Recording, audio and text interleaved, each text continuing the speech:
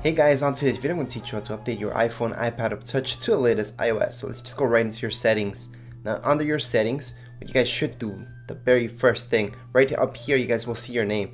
In there, it's iCloud. So just make a backup on your iCloud just in case something goes wrong. If there's no more space on your iCloud, just like it happens to me all the time, just hook it up to your computer, use iTunes, which is a free program for both Mac and PC, and just make your backup there. It's unlimited. So once you guys do that, scroll down, you guys will see General.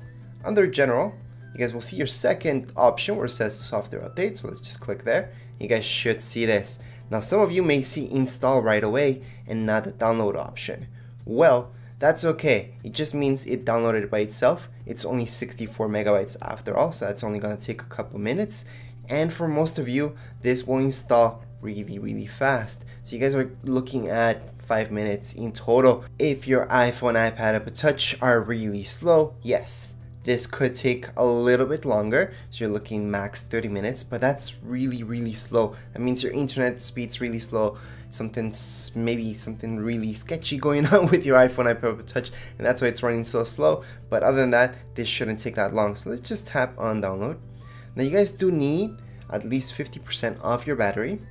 And even if you guys do have 50% of your battery, I still recommend having it hooked up to some electricity so you guys are good to go. Now let's say you guys don't see this update. Remember I mentioned iTunes? Yes, iTunes on your computer. Just hook up your iPhone iPad Touch to your computer and just update it through iTunes. Okay, if you guys don't see this update. If you guys have an older iPad, let's say an iPad 2, and you're stuck in iOS 9, well, there's really nothing you guys can do. Don't fall for any scams that you guys see online where they tell you that you guys can update. You can't. You're really stuck with older devices such as an iPad 2, which is stuck at iOS 9.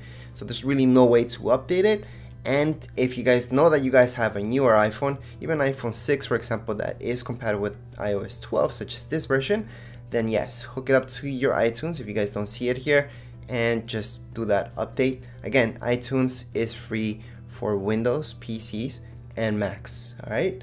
Anyways, guys, what you guys will see once this installs is restarting. Okay, so you guys will see a black screen, white screen, Apple logo, loading bar, and that's it. It's just gonna load once, it's gonna restart, and that's it. It's not gonna ask you for your Apple ID again. It will ask you for your passcode if you guys do have one in order to enter your iPhone, iPad, Apple Touch, but that's it. Anyways, if you guys have any comments, questions, you guys can write them down here in the comments area. Don't forget to subscribe and rate. Thank you!